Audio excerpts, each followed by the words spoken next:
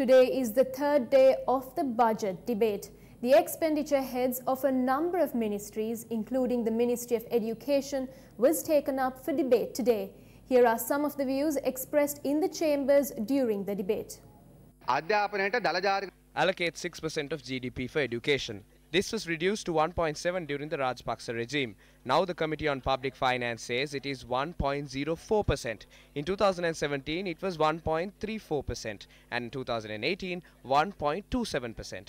Funding for education is being cut under the Maitri Ranil era even more than the Rajapaksa era. Minister Mangala Samaraweera said that they will provide scholarships for A-level students. He promised to provide these scholarships for 14 students. That's all good, but this is similar to reality singing competitions. There are close to hundreds of thousands of competitors, but at the end of the day, only one person wins the competition. This will be carried around all year. He has transferred minor labourers from Kuliyapitiya to Mannar and Vavuniya. All four minor labourers at Madukanda Central College were appointed from Kuliyapitiya. This is a shame.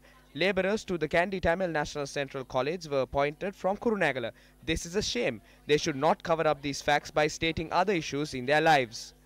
You managed to get your face into the covers of textbooks, so do not fall to such a low position. You are a person holding a respectable ministerial portfolio. We heard that more than 29 million rupees were spent on printing your face on textbooks. He is making false statements about me. If they can prove that the government has spent even an additional rupee in printing my face on the textbooks along with the message, I will resign from my ministerial portfolio. Do you recall how the General Secretary of the Ceylon Electricity Board Employees Union, Ranjan Jayalal, yesterday made a revelation on the interference of politicians in providing government jobs? How do they provide jobs in the electricity board? Here it is during the time of CM Lapitier. We challenge them to file a case against us. File cases of defamation if they can. We will bring these employees to court if they file a defamation case against us. These are not fake promissory notes. People in Siyambalanduwa, Ampara had given 500,000 rupees in return for the employment opportunities.